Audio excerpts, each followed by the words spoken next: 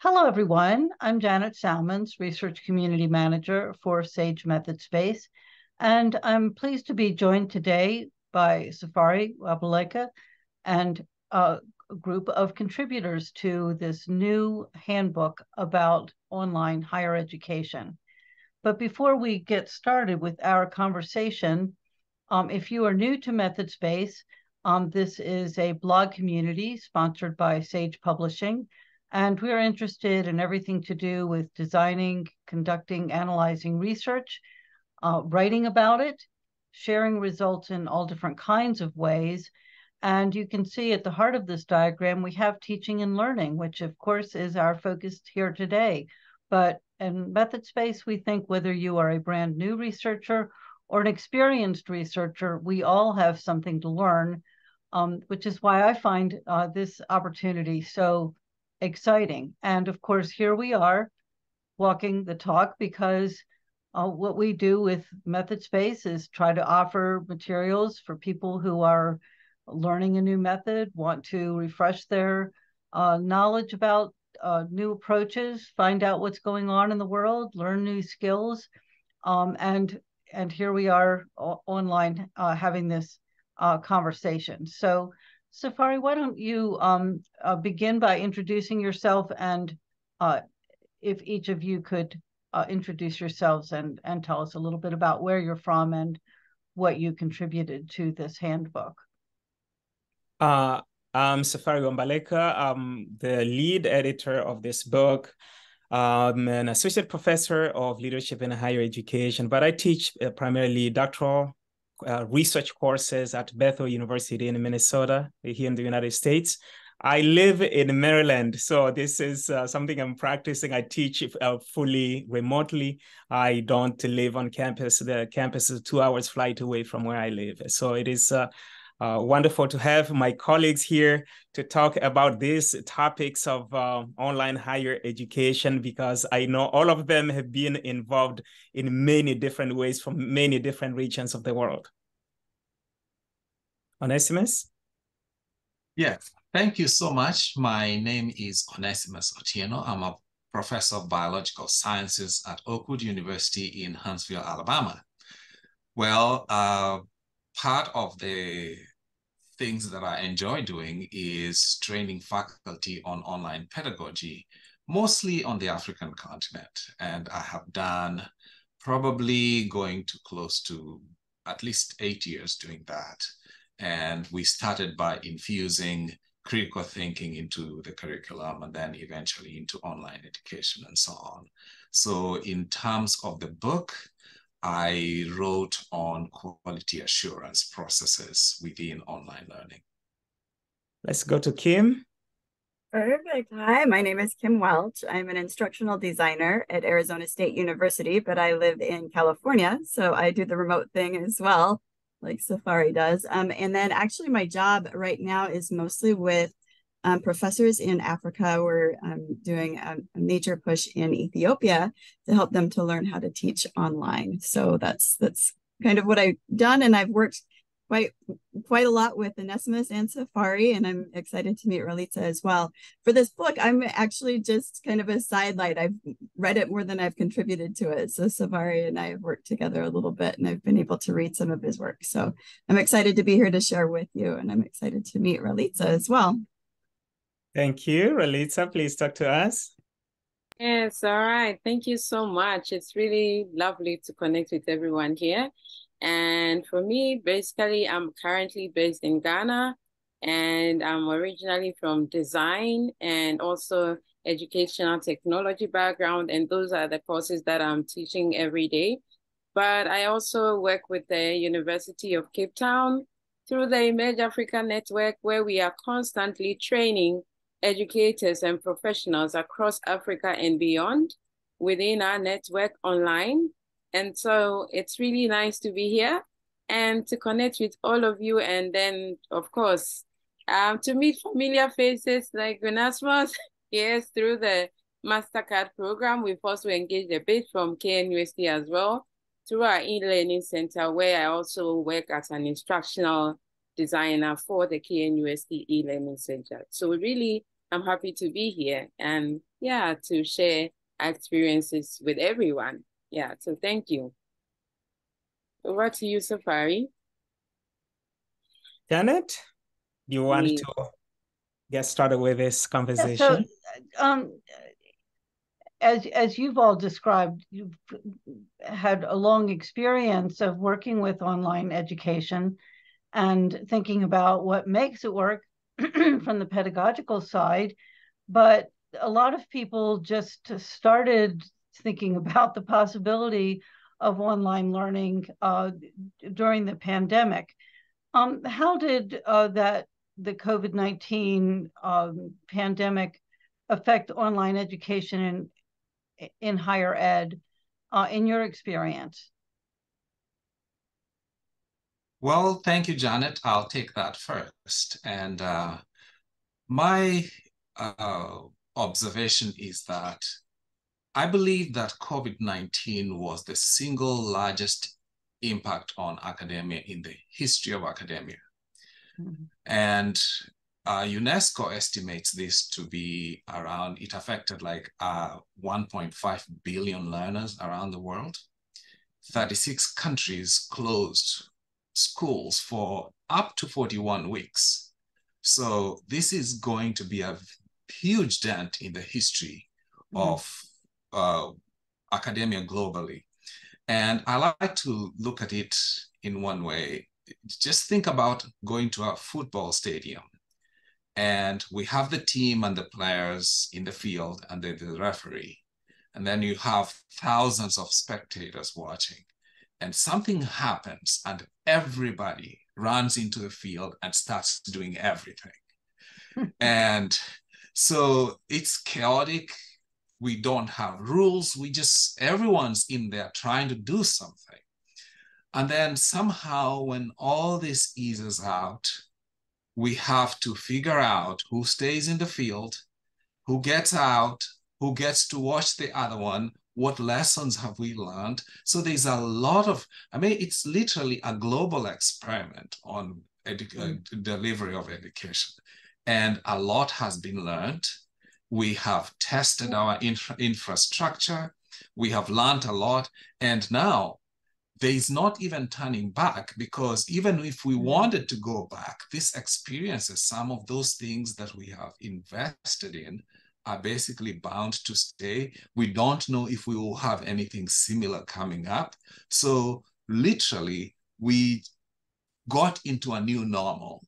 What this new normal is, is what we are still trying to figure out while we ascertain what we have learned and affirm some of the structures that we have put in place.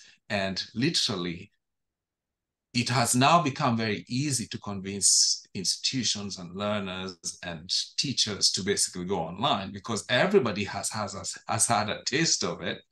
So in a way, it's easier to get to promote online education. The question is, how do we maintain some sense of what is successful and what is not? And that's the purpose of the handbook. Right. Um, I, I have had the privilege to work in the US, in Asia, and Africa uh, over the years. And I was one of the, I think, one of the first people to embrace online. I started teaching online in 2003.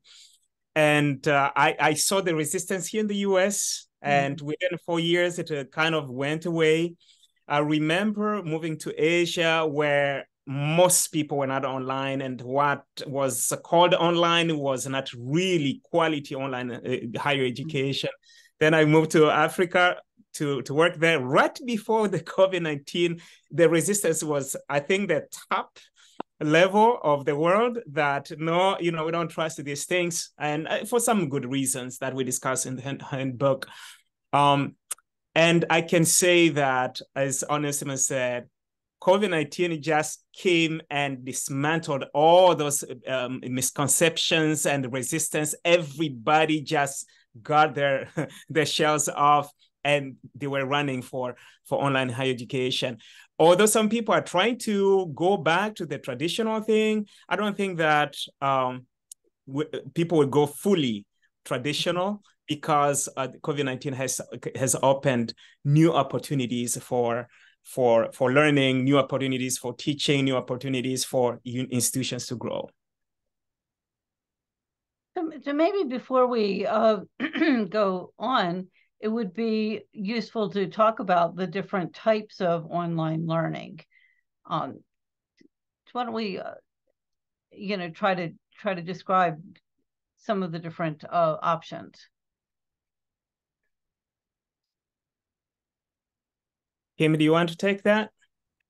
I can try. I mean, I can, you know, that that's a very open-ended yeah. question. So you can add on when yeah. what I what and fill in the gaps that I leave. Um, so at Arizona State University, for example, we have a lot of online asynchronous learning. Um, we have a, a, very large program, so 60,000 undergraduate students who are online. So it's it's fairly big.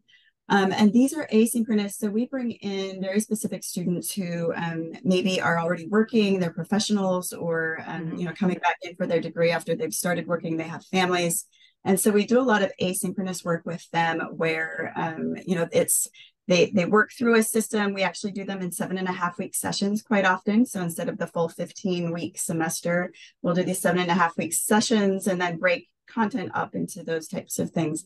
And so that's an asynchronous model that we do. And we've done quite a bit with it. For example, in our zoology group, they'll send a fish out to these people and they the people have to dissect the fish with a mm-hmm. video. And, you know, there's there are certain mm-hmm. activities and things that we've created to kind of mimic some experiences that they might have even in labs and such going into a, a physical classroom.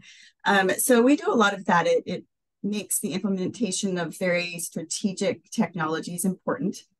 And so we do that. Um, but we also, you know, when when COVID hit for me, um, I was working as um, an instructional designer at a, a, university in Southern California.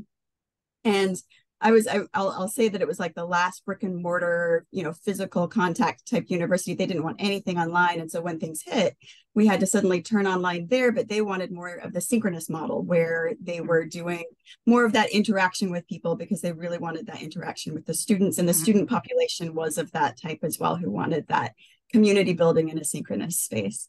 And so that's a different model, and we taught to that. So, being an instructional designer, we taught to that. I was also a French teacher at the time. I have a background in teaching French and English, so I was I was doing the same thing that these professors were doing, and that's a different model, different type of learning, um, different requirements, and again, strategic placement of technologies at that point. What kind of technologies are used mm-hmm. in that kind of environment? So, those are a couple of different models that we used, but I'll I'll stop talking now and let others fill in some gaps where I've left.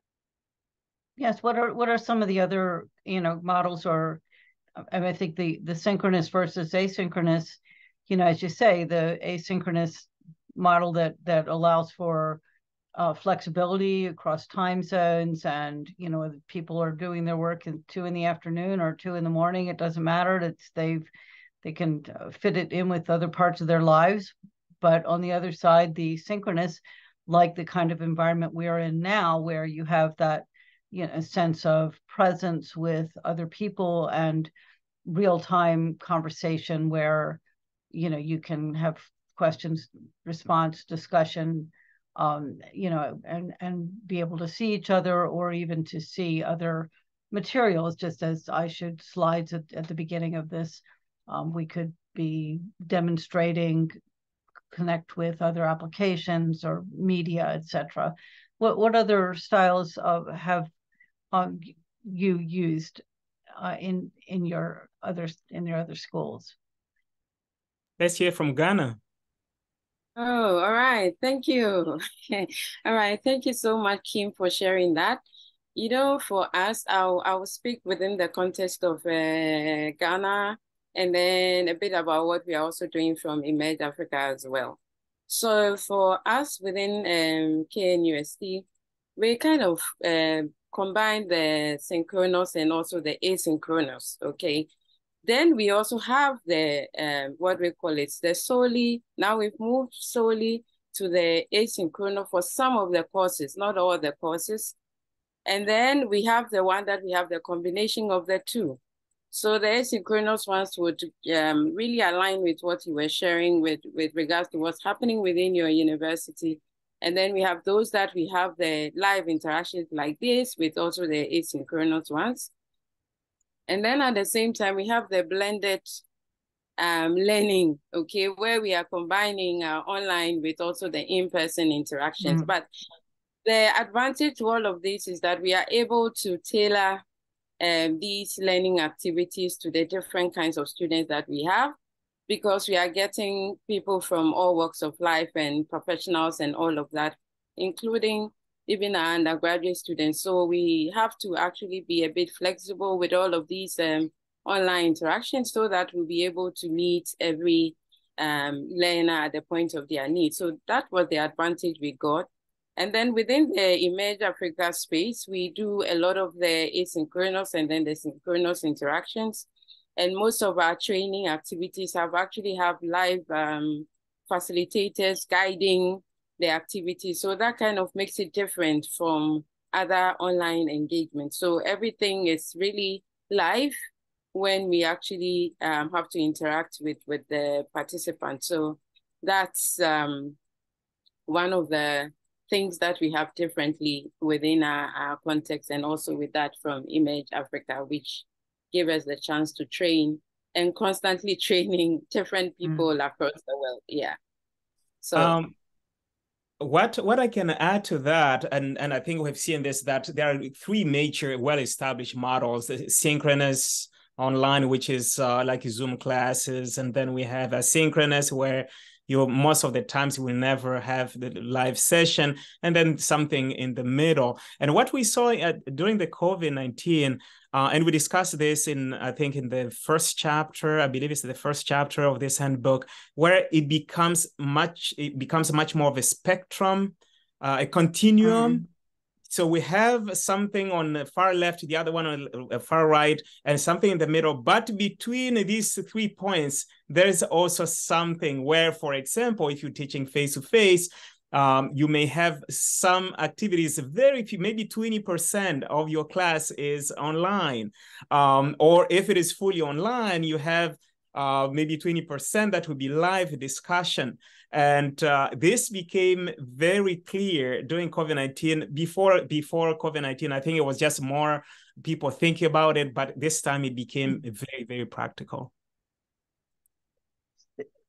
So um, uh, in your work with uh, pedagogy, um, how how do you um, explain, you know, kind of these different options and what that means for the teaching and learning? I think this goes together with the with the administration of the the instruction. They have to come up with a model that is going to be used because you don't want each professor doing their own thing because mm-hmm students are the same. You don't want right. students taking three classes from three different people using three different models. And so, um, what I have seen uh, ha- happening, at least from personal experience, is that okay, this is how we're going to do it. It's going to be asynchronous, and that's it. Uh, and that which is the the, the common format mm. that we use here in uh, in the United States. Uh, at least for universities that are fully online universities, it they are mainly asynchronous. Um, or if you say, well, we're going to have blended blended learning and this is why we want blended learning i would see that i would say that uh, when i was working in, africa and kenya this is the model that we use because we didn't want students spending too much time in a live session um, because of uh, data, internet connection, electricity issues that mm-hmm. were happening around the continent. Um, so we, we needed to be practical, have less live sessions, and a bit more uh, synchronous, but all the classes would go with the same format. I don't know about uh, SMS what your experience has been. Yes, thank you, Safary. Uh, what I've noticed is, of course, we have synchronous, asynchronous, and then we have blended. So institutions pretty much decide to pick one or a few, but even more importantly, is being able to define what blended is and defining what asynchronous is. I think that has been the biggest challenge, mm-hmm. but mm more importantly is that an institution first of all defines what is synchronous, what is asynchronous, what is blended, and then they also have this other term, they say HyFlex So there are several terms, but being able to define what that means. That way, when a student takes a course and it says it is blended, they know exactly what that means. Mm-hmm. And sometimes, uh, while many institutions tend to stick to the same definition, sometimes there might be others that kind of define things a little different. Mm-hmm. And so it's important to at least for an institution to define what asynchronous means mm-hmm. to mm-hmm. them. That way, then a student knows what to expect and a faculty knows what to right. expect in that context. Yeah, I think uh, clear expectations are, you know, particularly important with online uh, learning. So uh, that's, you know, being sure that you know everybody understands what the expectations are for the different kinds of styles that that would be uh, important. And you know i want to uh, kind of shift a little bit since we're focused on research methods in in MethodSpace uh, to you know ask you about uh, what you you know if there are uh, particular ways that you've used online learning or uh, worked with online learning to uh, support uh, students who are preparing uh, to do research. So, what are some of the strategies you've used in online learning to uh, to teach research methods and to support those kinds of students?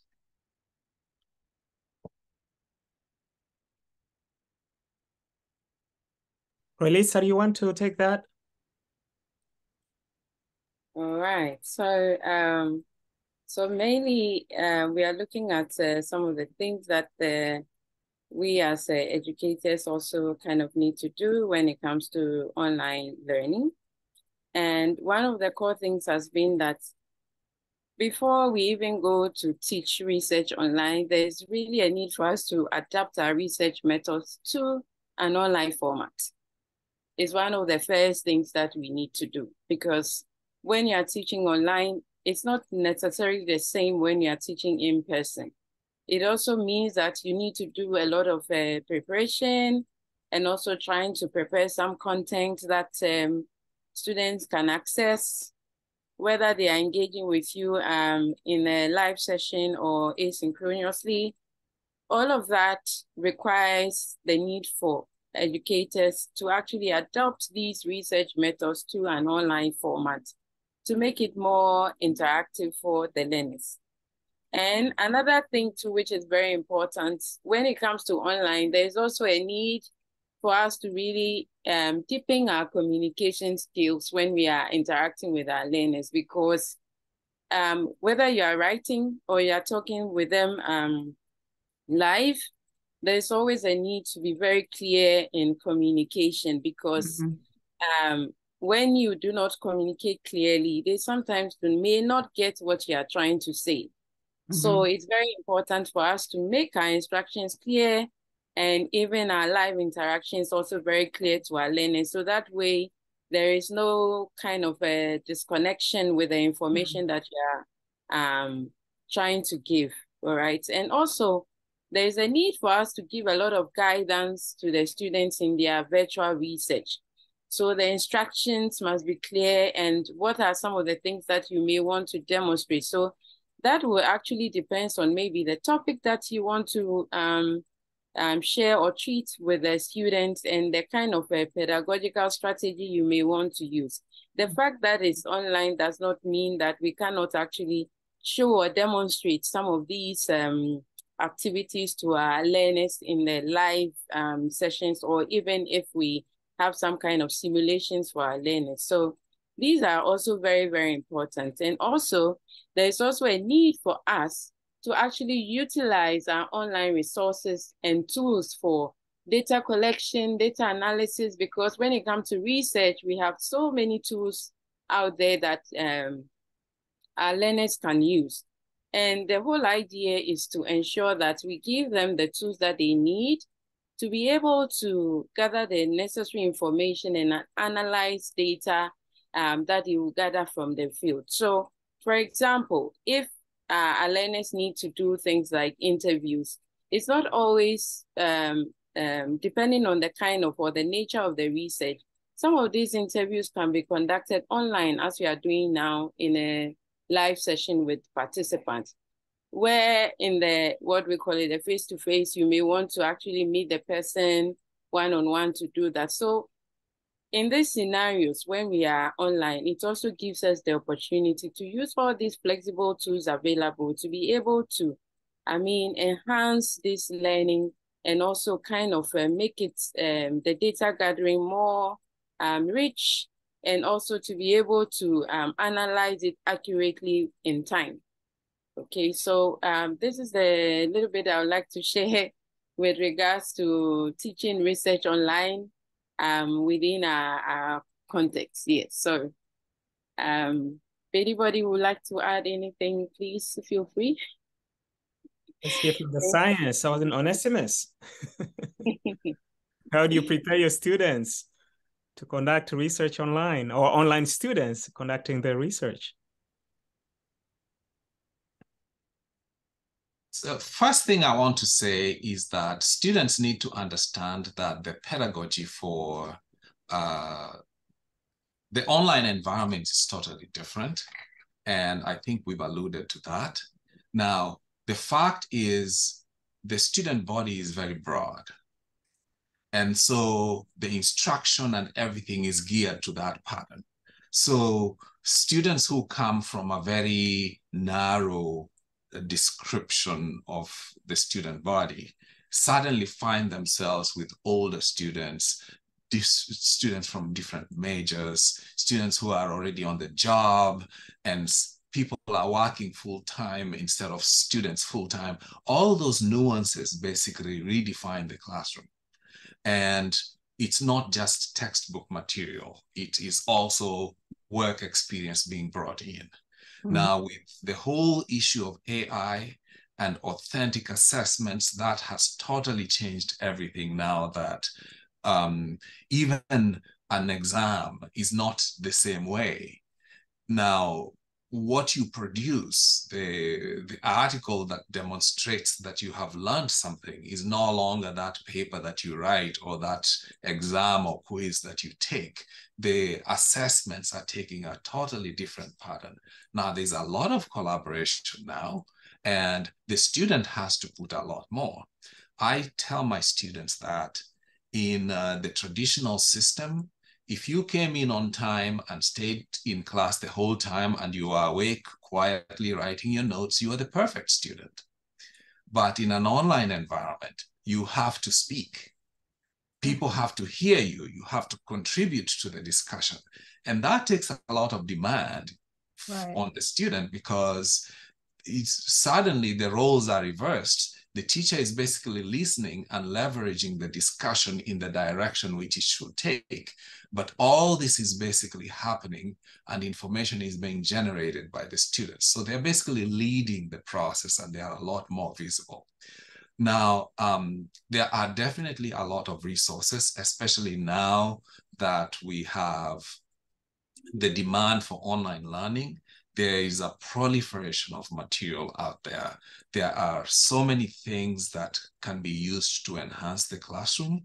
What I'm totally fascinated with is how STEM courses have taken the lab experience online. Mm-hmm. And we have gaming, we have virtual realities, and we even have situations now where you know, medical-based uh, courses even have those uh, virtual reality goggles that they put on and engage in conversation with other students who are in the very same room to experience the situation and do that. Now, one advantage I see in all of this is the perfect lab environment. I'm in the sciences, so that's my inclination to speak about this. And that is, you can imagine yourself doing a lab experiment and your lab partner is your teacher and you're walking through it and the teacher is not only telling you what to do but is also assessing you in the process in how well mm-hmm. you're doing that is something we could not accomplish in the uh, face-to-face lab, or at least it was very difficult to do in a class where you have so many lab students. But with the type of products we have now, we have we are able to engage students one-on-one and then not only give them instructions, tie them to clues that have the theoretical principles of what they are testing, but we actually assess them in the process so that by the end of lab, you know how well the students learned. There is an article of this is their performance and so on. These are very extremely powerful tools that we now can use that were previously just not available. A, couple of points I want to just uh, reinforce from from what uh, what you've said. Uh, I mean, when you know, for people who may be watching this who are not that familiar with online learning or just you know trying to get started with it, that you know if we're talking about asynchronous, then we're talking about you know pretty much you're doing things in writing, primarily in writing. You are in a discussion in writing, so you are responding to prompts and you're responding to each other and so, you know, on one end, as you say, I mean, you can't just sit there in the back of the room and and uh, try to look like, hmm, I hope she doesn't call on me because I didn't actually do the reading, but I'm going to look like I'm very attentive so that, you know, she'll think I'm on board. But you can't do that in an online class because you've got to respond in writing and you've got to reference your sources from the readings that were assigned and the research that you did and all of those to me you know are are research skills. Those students are learning how to distill from the literature whether it's a textbook or articles and put it into a, a coherent form and explain it and reference their sources that in a face-to-face class maybe you just you know gave an extemporaneous response to a question and you know maybe you made some of it up because you didn't always really read it uh, you, you know, you can't get away with that. You know, it's it's there. So there's a rigor that I think you know helps to prepare someone to be a researcher. And then you know, thinking about some of the things that Ralitza was saying about the, you know, so if we're using synchronous and asynchronous, and we're uh, looking at not only the online learning, but well, how might you use those skills as a researcher? You know, for doing research online, which of course is something that I've done a lot of writing about and thinking about, uh, and you know, ways of incorporating some of those kinds of experiences into the form of your class. So, you know, if um, you know, we've talked a lot, the word collaboration has come up quite a bit. So if we're, you know, looking at, you know, in a, you know, topic of having a small group discussion that, you know, is possible for people to do in an online class, you know, perhaps, you know, in, in a, particularly in a, a mixed synchronous and asynchronous, or it could be an asynchronous discussion, but, you know, where we're looking at, um, you know, I can practice interviewing, I can interview Kim, well, you know, what about, about her experience on this topic or about what she's learned from reading this. Well, I'm, I'm practicing those skills that I will then feel more confident about as a researcher. So to me, you know, it seems like we really have you know great opportunity uh, to to build in those research skills you know as a part of the learning uh, experience How, is that uh, the way that you've approached it I, I, I, had not really thought about that, and I'm glad you brought that. And I, I, was really hoping you'll talk about research because this is your field, the the online research. And she has published a number of books and articles. For those who have not, who don't know about that, just uh, just Google Janet Salmons. you will find a lot of books. She has published a lot of books with Sage as well, and uh, and articles on this. Um, these are things that are in direct learning, uh, research in direct learning that happen without without us knowing because when you're doing re- conducting research guess what you need to find resources online and if you're an online student you are you you are required to develop those skills to find and assess the, the quality of, uh, of resources. And so people who are taking online classes, obviously they have um, an advantage over people who are taking face-to-face classes, especially if it's just a traditional face-to-face classes where in some countries students rely heavily on what the professor is bringing to the classroom. Um, this uh, not only finding resources, but also writing. Uh, there are some students because they take face-to-face classes who who may still re request other people to type their assignments for them. Uh, this may sound like strange, but it still happens today.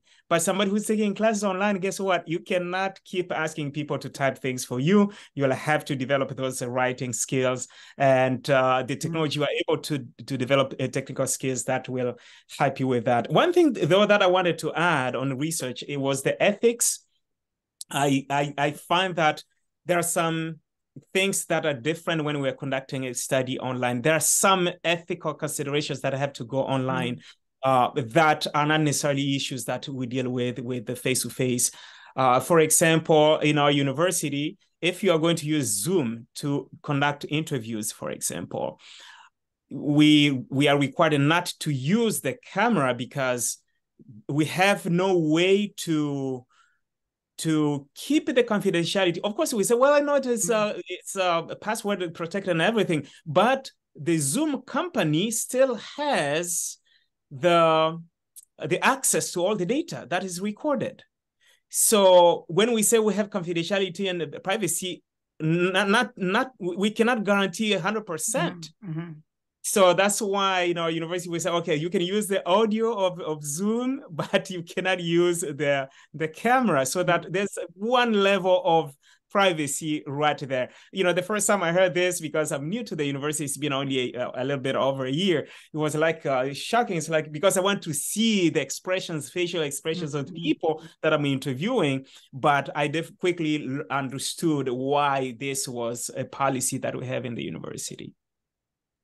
Right. Well, before, before we go on to, to the next question, one of the uh, the points I want to, to ask you about, you know, from from the previous comments, you know, as we think about the th things of the, you know, the the need for one-on-one, you know, with the faculty and and the different roles, which I think you really described well, um, you know, in, in you know how the the active role that the student takes you know in this kind of environment that is that is different from the passive you know sit in a, in a lecture hall and try to look smart um you know kind of thing. Uh well that that you know kind of ties into the question of class size you know so you know do you have any thoughts about that? I mean and, and certainly as an instructor you don't often have the choice about that that might be made, you know, at the university level, but you know, looking at that sort of high touch versus the you know working with a with a large class and how some of these uh, strategies that you've described might be different. Is that something that you've uh, that you've talked about in in your chapters or or thought about with your work? I, I think, Kim, you can take that. Class size is always one of those major issues. And since you have worked both in the classroom and in the corporate world, I think you can tell us what are the common practices out there. Mm-hmm. yeah, so we really do try to recreate that high touch experience even in our higher enrollment courses and what we've had to you know use for that is is you know again the technology we need to implement the mm-hmm. technologies that create kind of an instant feedback loop we do a lot of things that will give instant feedback or will allow um, peers to give feedback to each other so that that touch can be implemented in the mm-hmm. classroom even if it can't always be the professor themselves you know mm-hmm. going in and, and touching each student in a, a different way that way um, so we, we try to implement a little bit of um, the technologies that will support that high touch even if you know and some of our classes i have to tell you for some of these global classes they have about a thousand students and so we have to mm. try to teach them how to make sure that those students are getting you know instant feedback sometimes um, you know feedback that's really relevant to what they're they're saying um, so we we mm. try to implement that the best that we can that high touch function even in the higher enrollment classes which is actually more more available to us in an online setting than it is in a, a face-to-face class. Well, uh, um, I know we have a, a limited amount of time and you know many things to discuss, but I wanted to make sure that we had a chance to talk about, uh, you know, the implications of a global classroom, which you know you referred to a couple of times, and I know with uh, Emerge Africa working with you know people throughout the continent who have very different languages and different cultures you know even within one you know within one continent. I know you know where certainly where i live there you know many cultural differences you know in a, in a small geographic area. But when you're bringing in such diverse uh, students you know what are some of the kinds of issues that that you've uh, you know thought about and discussed in this book that would be uh, helpful to our MethodSpace community. Ralitza, yeah. do you want to talk a little bit about that? Um, oh, okay. Uh, I'll speak um, generally about how we manage the diversity mm. and how we have people coming from different spaces. One of the core things we really focus on within Emerge Africa is that we want to create that um, collaborative space where peer learning can even happen beyond the course. Mm. So we really even um, make a conscious effort to help people deal with diversity and also rather see the richness within diversity. So we we kind of make people aware that you come to the course as an individual, but by the time you exit, you have all these um, course colleagues uh, that you can connect with and network with beyond the course. So that kind of um, engagement you may have with the um, traditional learning environment where you have your classmates, we try to simulate that by the way we structure our course activities so that people will have the chance to really interact and get to know each other. Okay, so we really make an effort within our interactions to get people talking as they would in person on, I mean, social things and other things, not just always course activities. Mm-hmm. So they really build those relationships as they go. And um, issues around communication too is very important because, like I mentioned, people are coming from diverse backgrounds. So language is really um, important here. So one thing you say might mean different to another person. So we even have to make a conscious effort to get people to understand that we are diverse and there's a need for us to really appreciate our diversity and how we respond, how we engage and all of that and really dealing with diversity. It's really even a hot topic to even discuss to make people aware of the fact that we need to be very accommodative and learn how to respond in the online space because one of the things we spoke about was that within the online space once you put your feedback there is there so mm-hmm. when you you are not careful or mindful about how you communicate there it might really not be the best for everyone so you really need mm-hmm. to be mm-hmm. mindful of how you interact so these are really very light things but it really does help us with how we manage um, people from diverse backgrounds and the beauty is that we really get different inputs from people and we learn from different um, disciplines due to the diversity. So that's the beauty within the Emerge Africa space that we have. Yeah.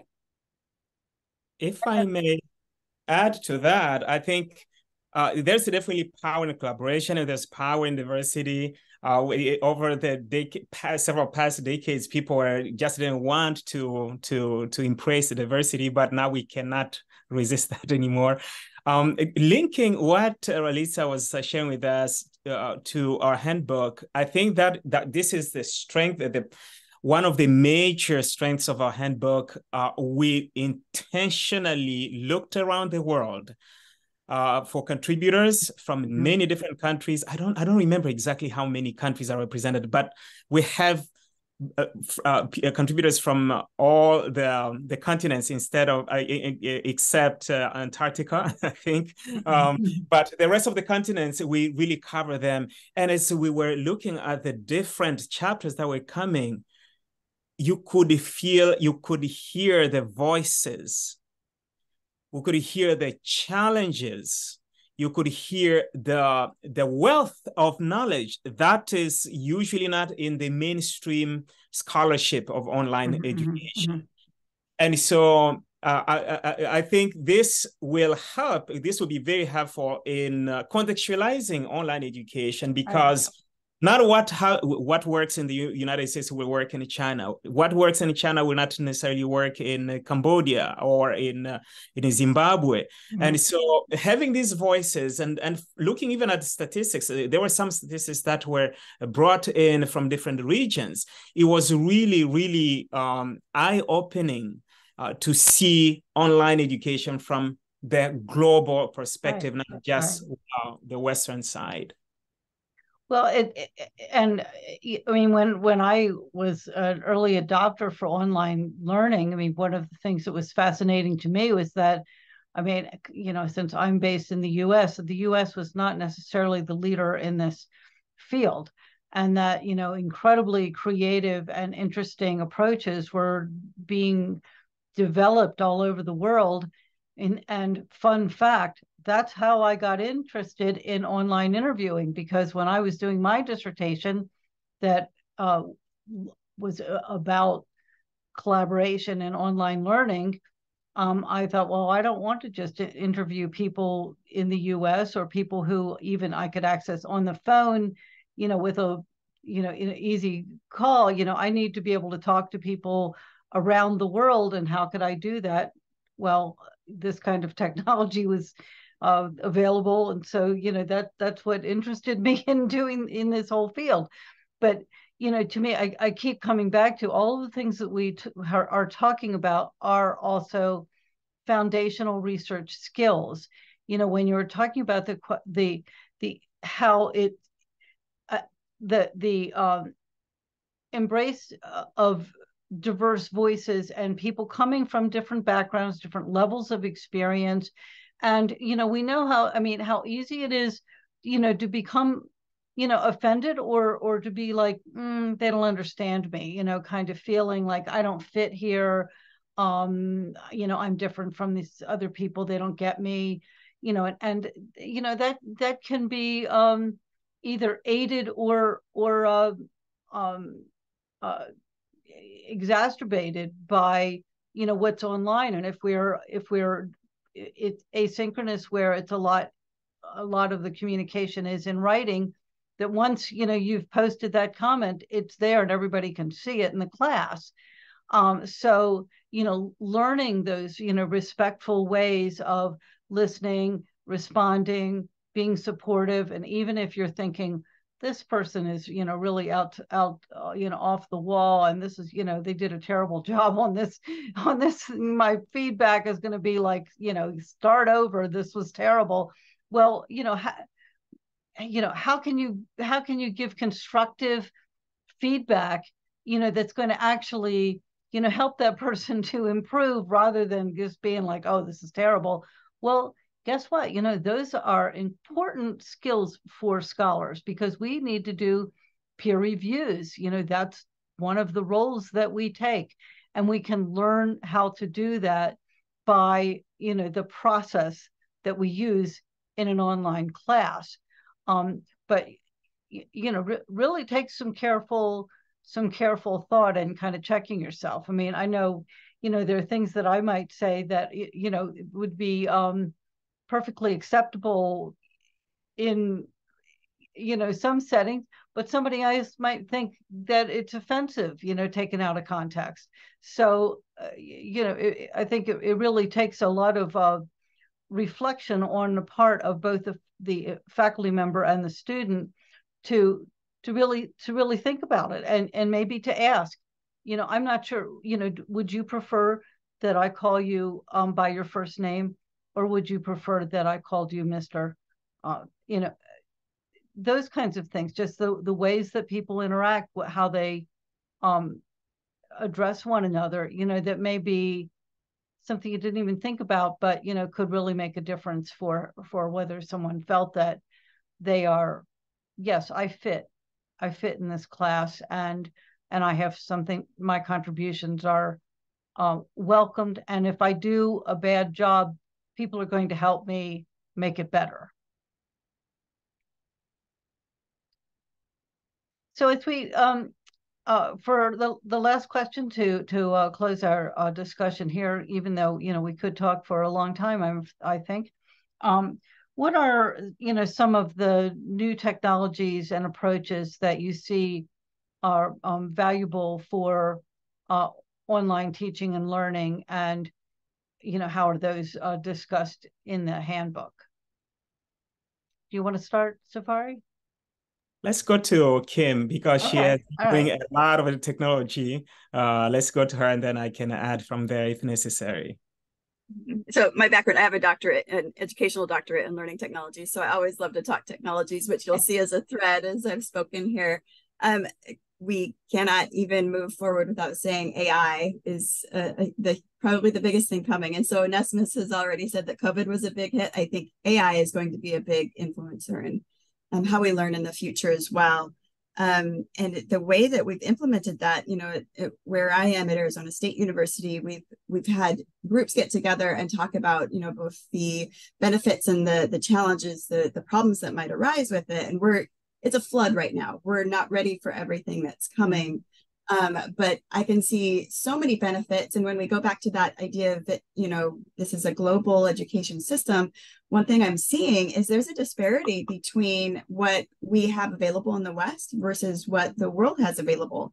For example, ChatGPT, you needed a number that was um, from the United States, Asia, or, Europe to be able to get ChatGPT first, right? So that creates a whole section of our world that can't even access something like that. So, you know, trying to create less disparity while using it for the benefit of learning and not making it do the thinking for us. These are all things that are swirling around, I think, mm-hmm. with AI. And that's, I think, going to be the biggest thing that we have to deal with now post COVID.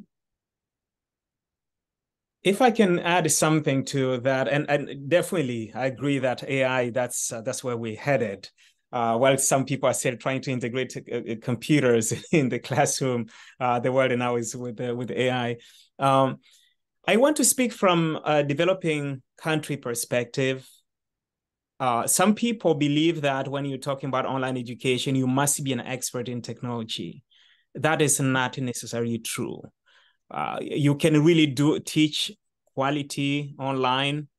Um, you, you, can deliver quality online education with that with with just the the skills that you have. You just need to hire the IT people to support you to support your work. The other thing is that we need to take technology as a tool. It's not what will do our work. It will not do the thinking for us. I know ai now can think for us but we still have to bring in our own brain. So let's not feel like okay we, we're going to be driven by the technology. Let's mm-hmm. drive the technology. Yeah. the other point i want to mention is to make sure we do not push and this we talked we, i think we discussed this in the um, the mastercard foundation trainings for for, for africa let's not try to integrate all the technologies that are out there. That is a tendency of people who are new to online education mm-hmm. or the integration of technology in the classroom. They think that everything that's under the sun, we need to integrate that. Choose what is needed mm-hmm. and what is affordable. Sometimes programs fail because people are asking, for example, uh, for, for uh, uh, learning management systems. Moodle is very well used uh, globally and it is free. Even prestigious universities here in the United States are using that. We find people who are new to online education, they have limited funds. They say, no, we want Canvas. I'm not speaking against Canvas, but you know, mm-hmm. You need to have a lot of resources to be able to pay for Canvas or any other uh, similar WebCT or things like that because they are really the commercial ones are very expensive. So let's be reasonable. Let's be practical. Embrace the mm-hmm. technology that you need and that you can afford, and that people can learn easily. Because that's the other issue. You know, it may be it may be free, but it's extremely hard to learn that is also another thing that we we need to keep in mind and we have a, I think in, in the technical considerations we talk about that we have a whole chapter on that you can read that in the handbook Okay, is there anything else that uh, anyone would like to add before we uh, close our conversation? I, I think I just want to let people know that this book is uh, coming out uh, this November 2023.